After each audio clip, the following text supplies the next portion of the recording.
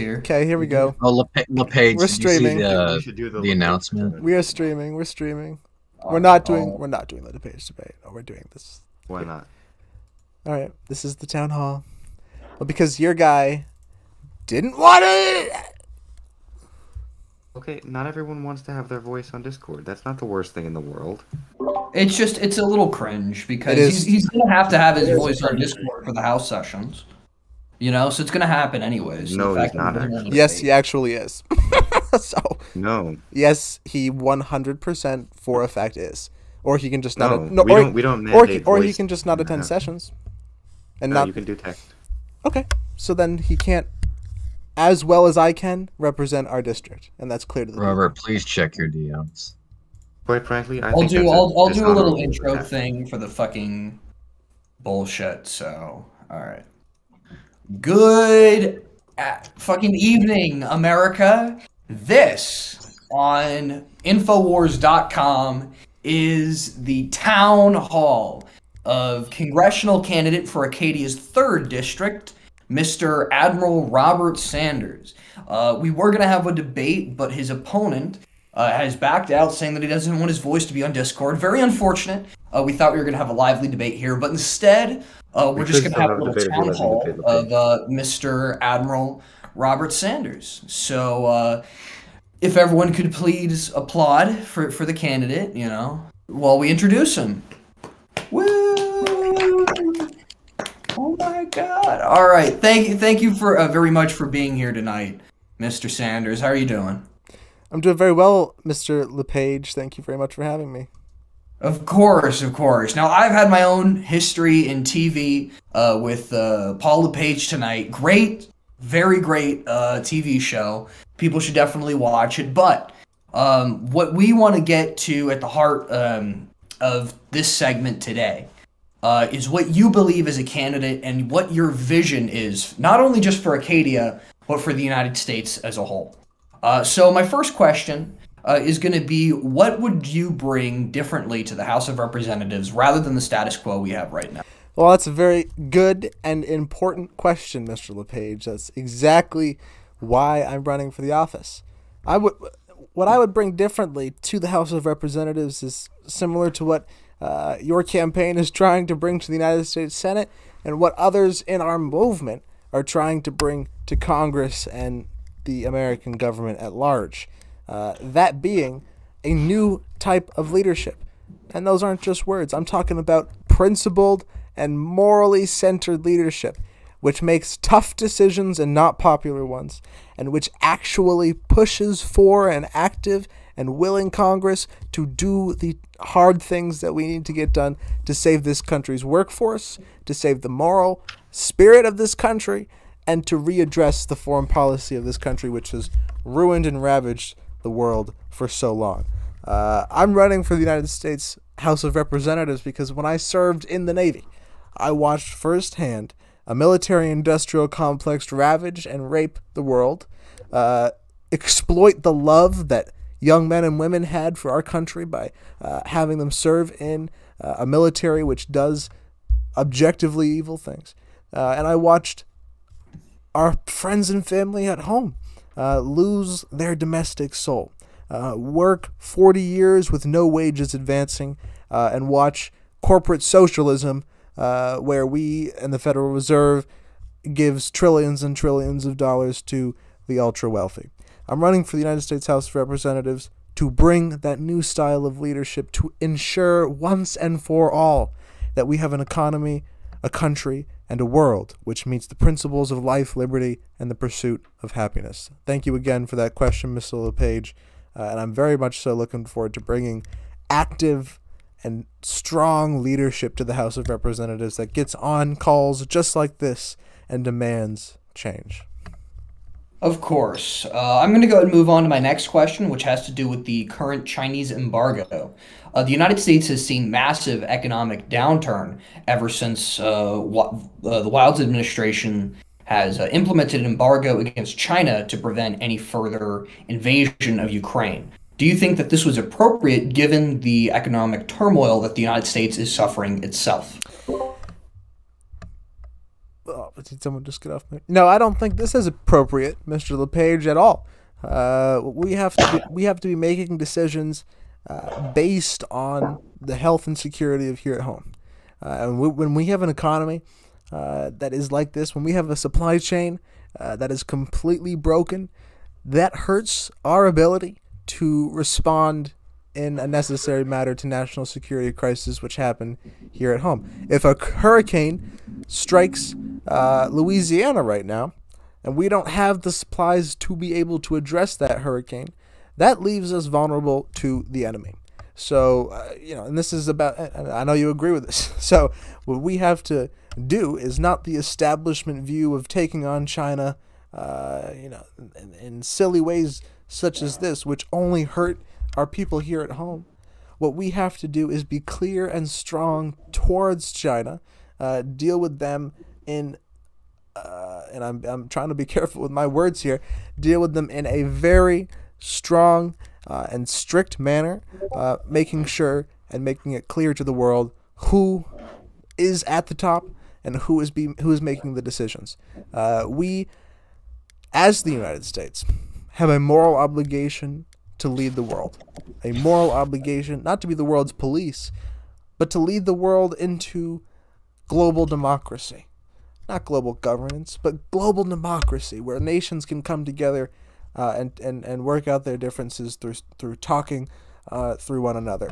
To get to that, Do you think that the United States like deserves that responsibility? Like we have to be the ones making sure everyone becomes a democracy?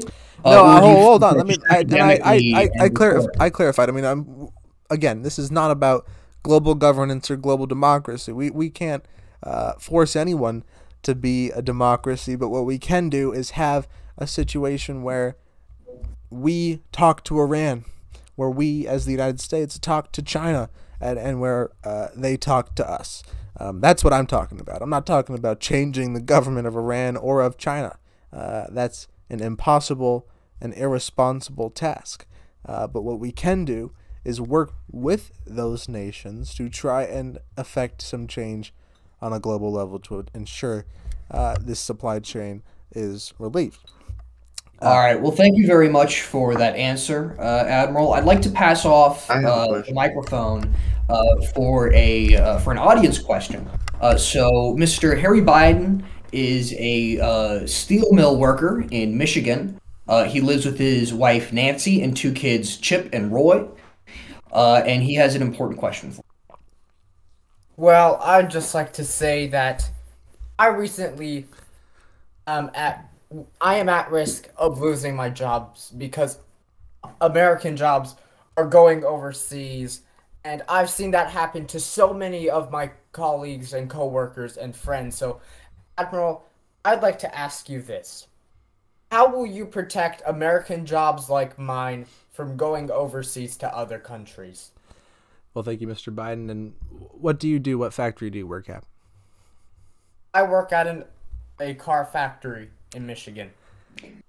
Well, you know, thank you for what you do for our country. I mean, you're truly the backbone of our nation.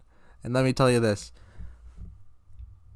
we've heard politicians for so long on both sides say, oh, we're going to protect your jobs, touting unemployment numbers, while at the same time using their pen, the power that they have as legislators or an executive, to sign legislation, to sign trade deals which sell out your job and give authorization to those corporations which you work for, uh, which your community works for, to move those jobs to lower wage countries and exploit those workers there.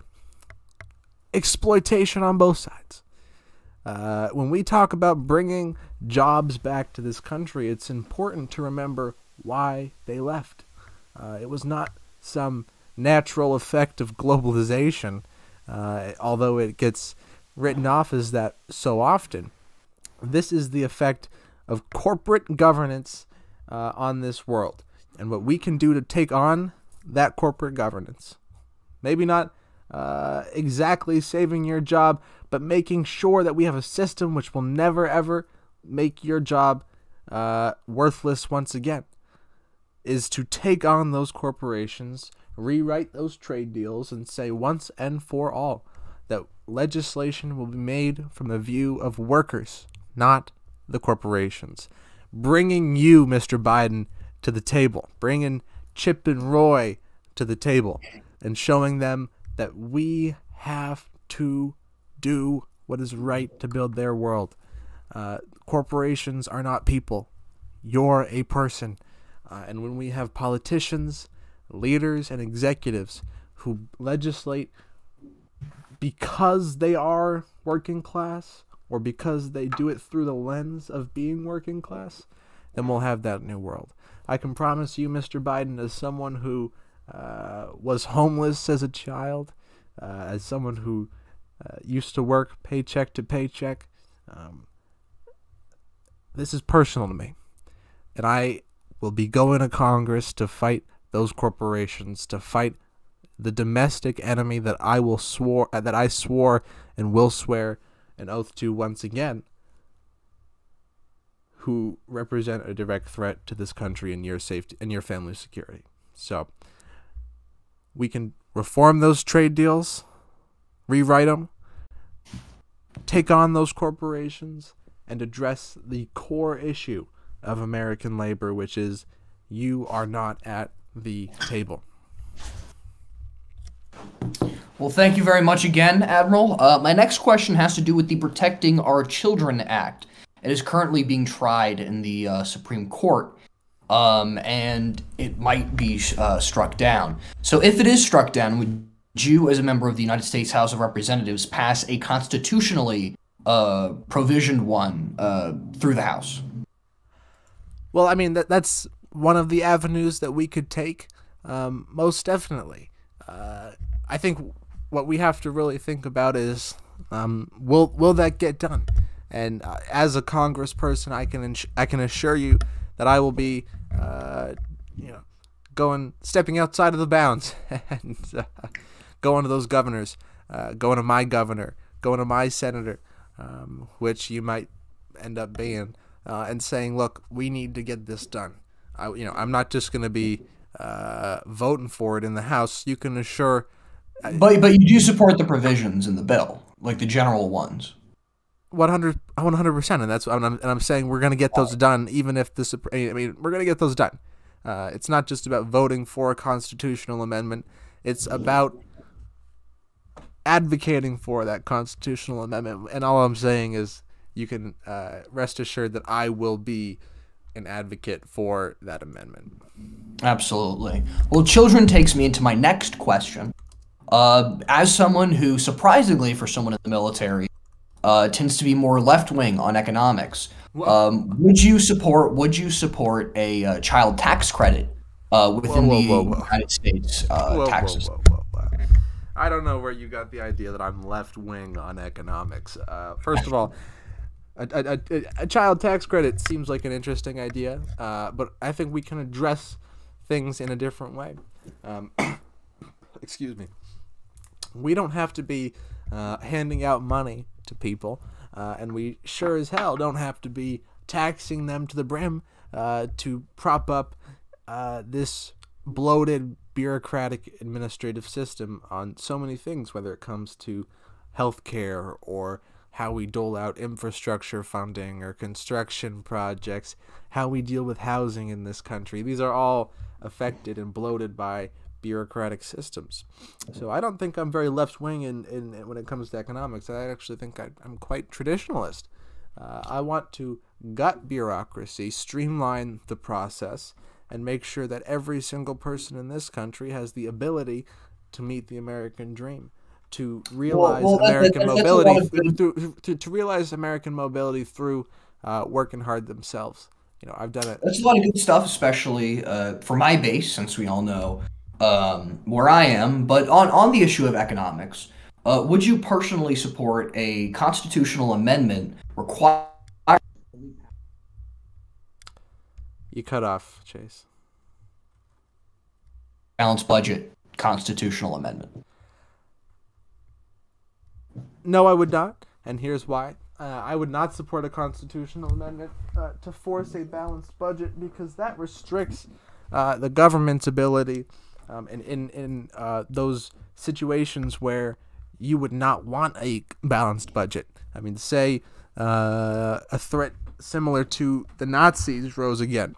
Uh, we have to be able, as a nation, um, to run deficits in order to deal with spending that we might not have at the time. Uh, that being said, I absolutely don't support uh, federal the the, uh, the Federal Reserve spending that we have going on right now. Um, again, where we have corporate socialism, where trillions and trillions of dollars, tens of trillions after this pandemic, are being shelled to uh, multinational corporations who have no allegiance uh, to any government whatsoever, but here at home are considered people. Um, what we have to do um, is really start thinking about uh, where we are doling out money. So, I, you know, to answer the frustration that those people calling for, uh, uh, you know, the advocates calling for a balanced budget amendment have, um, I, I'd have to say to that, focus on the Federal Reserve, focus on those economic changes which would end uh, that kind of spending without oversight. When it comes to a balanced budget amendment, I, you know, I'd support legislation um, recommending a balanced budget and saying that, uh, you know, as much as possible, we like making that the official goal of budgeting uh, within the Congress, something along those lines. Mandating the Congress always have a balanced budget again restricts our ability to deal with um, unforeseen crises.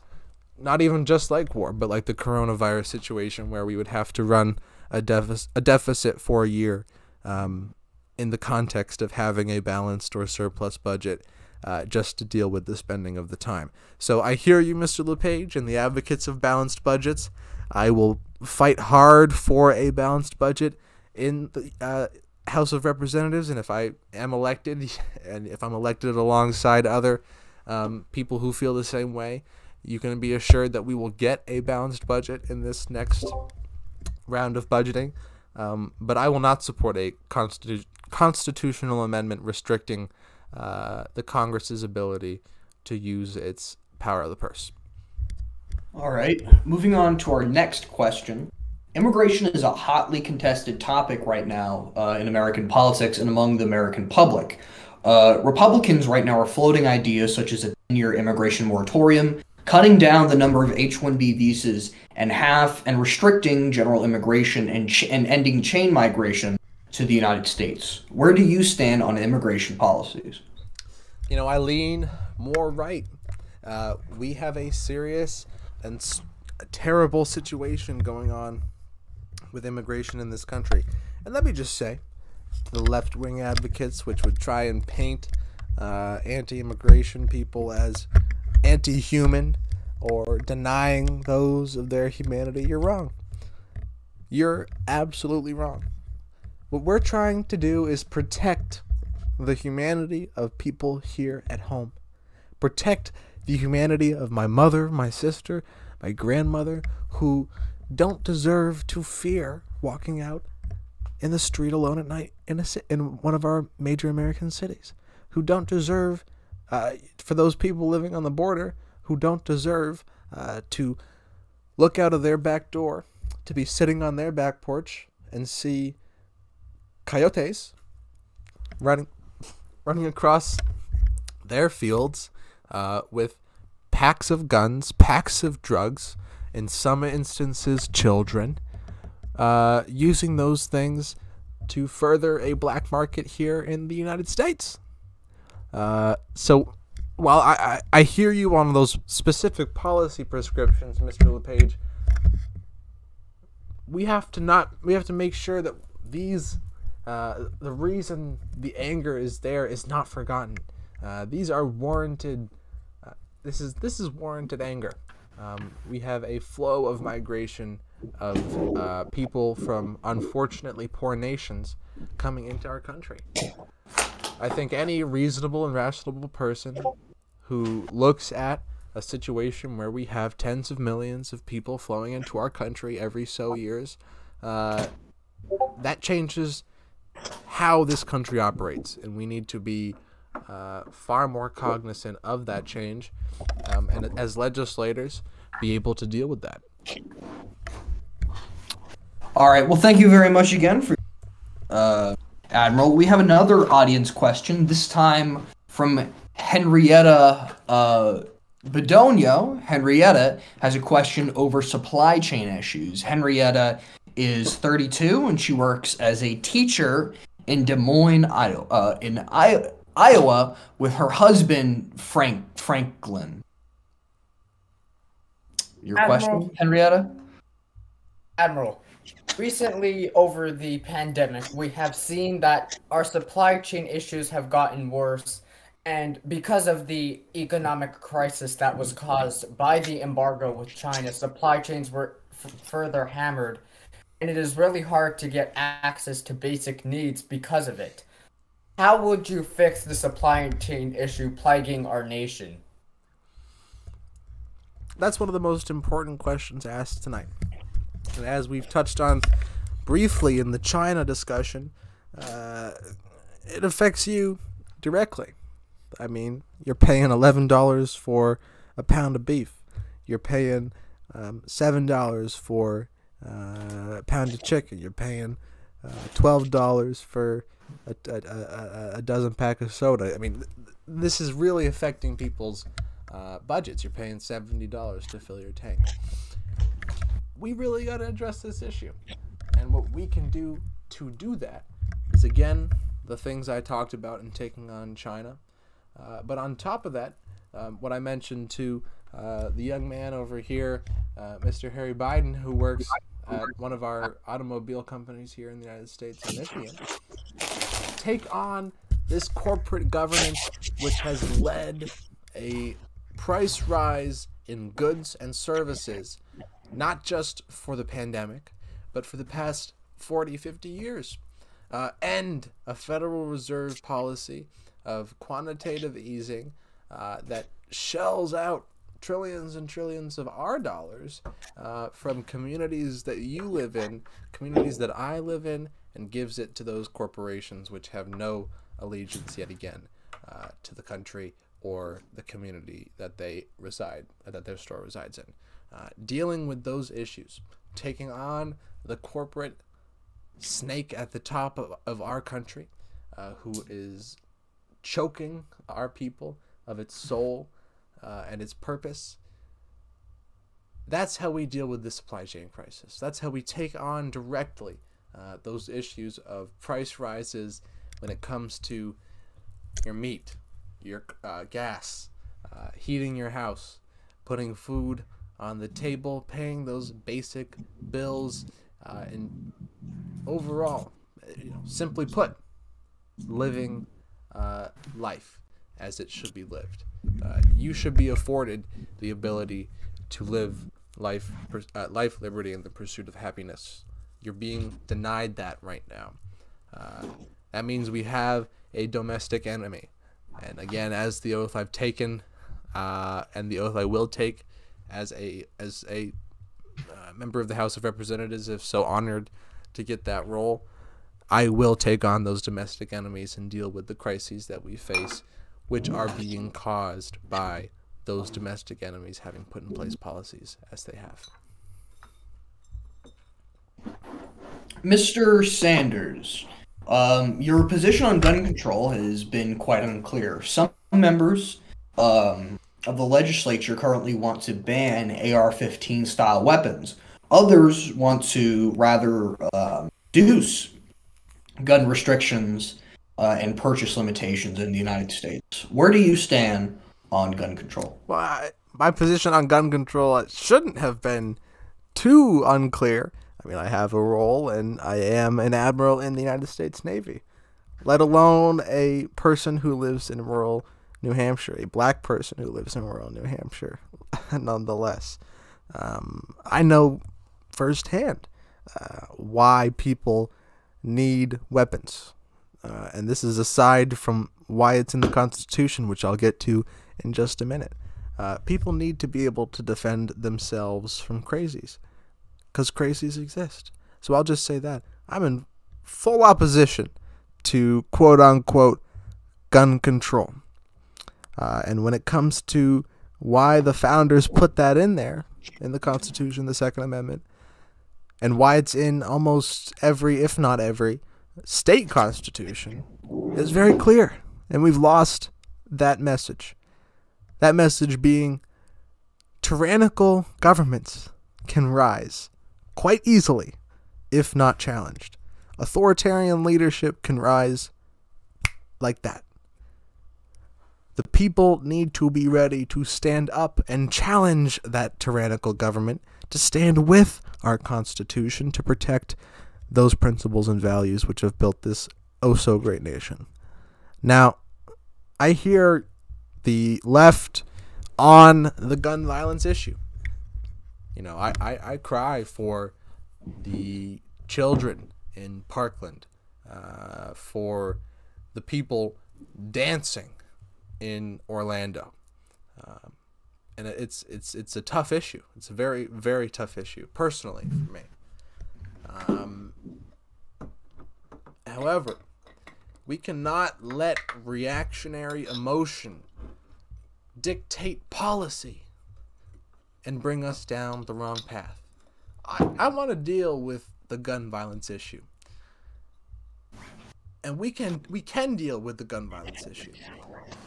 Restricting people's second amendment right is not how we do it.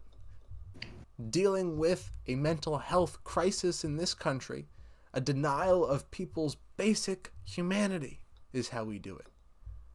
Thinking about why a child in school would make the decision to go out, steal a parent's gun, and then bring it to school and do those horrible acts. Think, thinking about why that would be the case. Not dealing with the gun, dealing with this deep systemic social issue that exists, which causes people to be so overtly violent in a way that we've never seen before. Uh, those are the issues that we have to deal with. I've been very clear on that my entire career, um, and I feel for both sides, but we mustn't lose the principles that built this nation, uh, while at the same time remembering that we can do that and deal with the mental health crisis that we face in this country. Thank you for the question. All right. Um, do we have any other audience questions? I have one. All right, Henrietta, you're back up.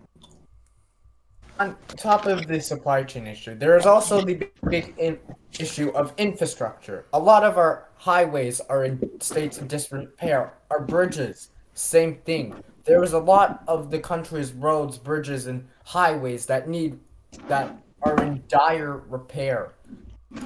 Um, and on top of that, just to add, a third of the country does not have access to basic Wi-Fi, and in our digital society, Wi-Fi has become uh, quite a bit very important, which also ties into the, um, issue of infrastructure. So, Admiral, I ask you this: How will you improve the country's infrastructure?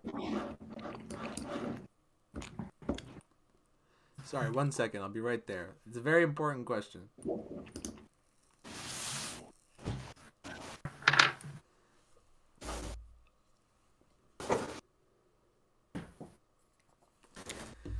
Trying Excuse nicotine me. gum for the first time, it's an interesting experience. That is an interesting experience, but this is a far Wow. more important question than the Okay. use of drugs. So, Mr. Biden, or I mean, yeah, Mr. Biden, that's a very important question, uh, and one of the issues that caused me to run for this position in the first place. We do face a serious infrastructure crisis that doesn't just have to do with our infrastructure, but again has to do with so many issues. It bleeds down to so many issues. It has to do with our national security, our ability to move equipment across uh, this vast nation. It has to do with our um, commerce, our ability to um, effectively do commerce. Uh, it, it affects so many issues. Um, unfortunately, the legislation that we see in this in the I believe it's in the House at the moment Um, I've been blanking on the name, but it's an infrastructure package, uh, which I read through it. It, it, it contains provisions which spend um, $200 billion on roads alone. okay. Uh, that's wasteful spending. Uh, that's the federal government doling out dollars and deciding where it goes, superseding uh, the state governments. The solution to the infrastructure crisis, which I feel needs to be taken, is one that's fiscally responsible, is one uh, that deals with the issue of being able to dole out those funding, those funds where they need to go, while also understanding that the federal government is the mechanism for a lot of states, uh, New Hampshire, New, uh, many in New England, here in my district included. Uh, it's the only way that those states will be able, and those states and those regions will be able to get uh, those funds. The program I support is a grant program uh, which allows all of those projects uh, to be, you know, a, municipality will come to uh, the appropriate federal agency, they'll apply for the grant, and then the grant will be given to them uh, as needed. That means that we won't be uh, putting a, a number on the bill just to put a number on the bill. Oh, we spent $500 billion on infrastructure.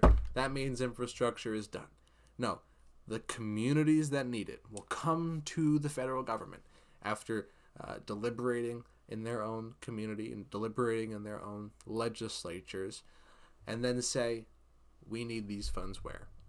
We need these funds for our pipes. We need these funds for our highways. We need these funds for our bridges. Creating programs which have those funds to be able to do that and being able to dole out uh, through each fiscal year um, funds, uh, budgeting for those funds, retroactive budgeting for what was spent uh, in those grant programs. I think you'll, and being able to deal with a lot of the zoning issues that we face uh, through an omnibus legislation such as that.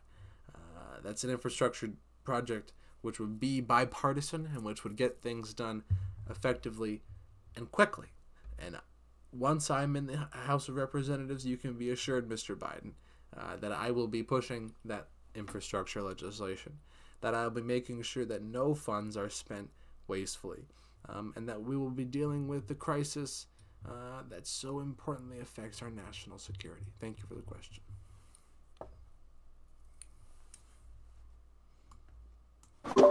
All right. Well, that was all the questions I have. So I guess this was a great town hall. Thank you so much, Admiral, for being here. We wish we wish you luck in your race, um, especially since your opponent didn't give us the time of day to come uh, come debate. So thank you very much for being here and taking audience questions from Harry Yetta. Uh, very nice people. Um, so thank you very much for everyone tuning in. Enjoy the rest of your Wednesday night. Thank you. Dude.